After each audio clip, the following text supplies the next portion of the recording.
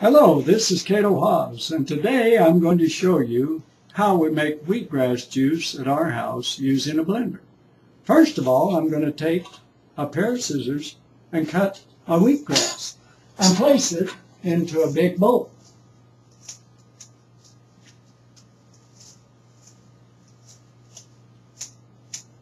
In a few minutes, when I get it all cut, I'll take it in and show you how we cut it up and blend it, and then strain it to make our wheatgrass juice.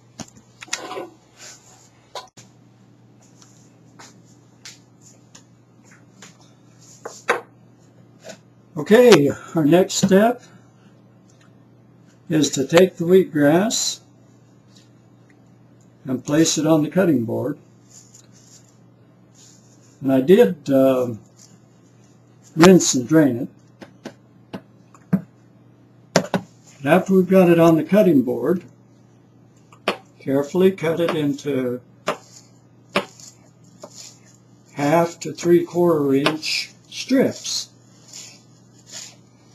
If you don't do this, and you just throw it in the blender, you'll end up with quite a mess. The blender will try to make rope out of the fibers of your wheatgrass, and it'll kick juice all over, but not cut the wheatgrass. Now please be careful when you do this and keep your fingers away from the knife.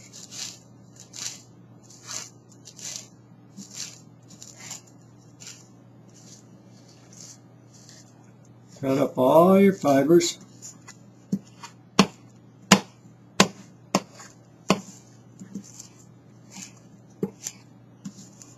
They're about a half inch to three quarters of an inch long.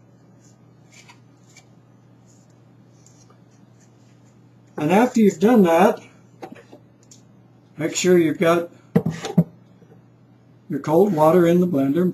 In this case, I've got about three and a quarter cups. I think that should be plenty. put it on there. Place our wheatgrass in the blender.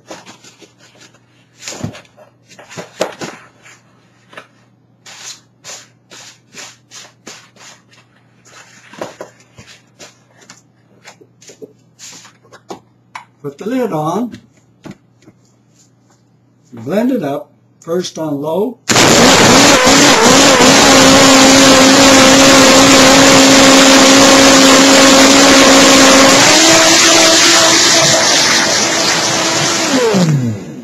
On low and then on high.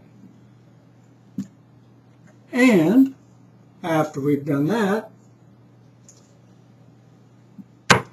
we'll strain it with this strainer into our uh, into a big bowl or a pitcher, and it'll be ready to drink.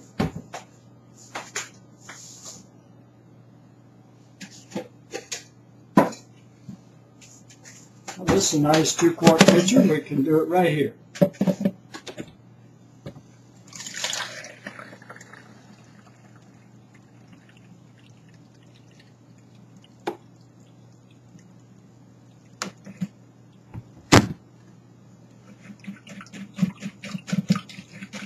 I'm just going to let that drain a minute so that all the juice goes through and all I'm left with on in the strainer is foam and fiber.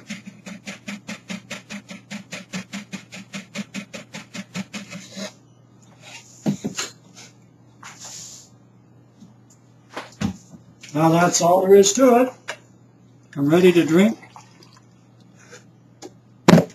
my uh, wheatgrass juice and water.